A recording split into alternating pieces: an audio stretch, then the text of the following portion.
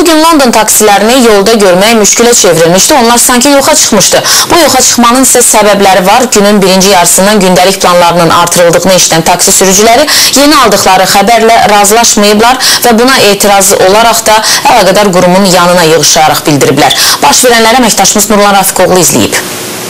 Sən nə deyirəm ki? Ne dön ne diyorsun? Ne? Dinle sən sözü Arkadaş girmiş miydi? Niyə gəlmə? Sən girdim gəlmə. Niyə gəlsinlər? Bugün London taksilərinin sürücüləri etiraz əlaməti olaraq müvəqqəti fəaliyyətlərini dayandırıb. Səbəb isə Bakı Taksi Məhdud Məsuliyyətli Cəmiyyəti rəhbərliyinin sürücülər üçün nəzərdə tutulan gündəlik planının 40 manata qaldırılmasıdır. Bu məqsədlə sürücülər elə avtomobilləri ilə birgə tabe olduqları qurumun önünə toplaşmışdılar. İstəkləri isə planın artırılmaması idi. Deyirlər ki, ötən ay plan 20 manatdan qaldırılaraq 34 manata çatdırıldı. Buna etiraz etdik, bir nəticəsi olmadı. Üstəgəl müştəri qıtlığından əziyyət çəkən sürücülər onu da deyir ki, heç gediş haqqında da dəyişiklik edilmir. Bir yandan yanacağın qiymətinin qalxması, digər yandan isə müştərinin azlığı taksi sürücülərini aciz vəziyyətə salıb. Buna görə də onlar rəhbərliklə plan məsələsində razılığa gəlməyə çalışırdı. Bugün mən plana getmirəm. Bu plandan 2 gün qabaq gəlibsə, bunun planın pulunu alıram mən. Öz planımın cibinə qoyuram.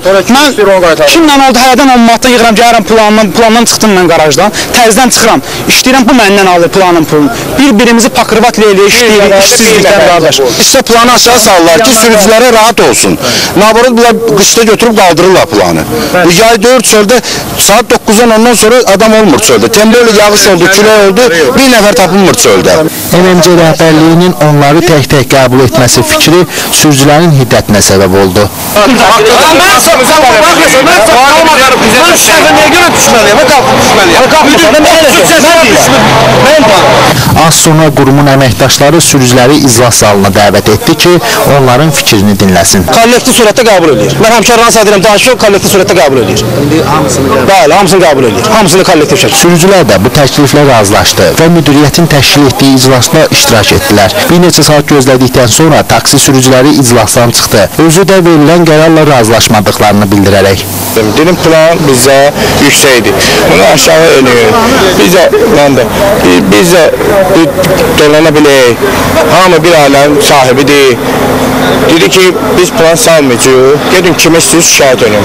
Az sonra MMC-nin mətbuat xidmətinin rəhbəri bizə məlumat verdi ki, London taksiləri dünya praktikasına uyğun olaraq daha az məbləğdə plan ödəyir. Üstəgəl onların işini yüngülləşdirmək üçün avtomobillər iki növbəli olmaqla iki sürücüyə veriləcək. Belə olan halda isə hər bir sürücü 20 manat ödəmiş olacaq.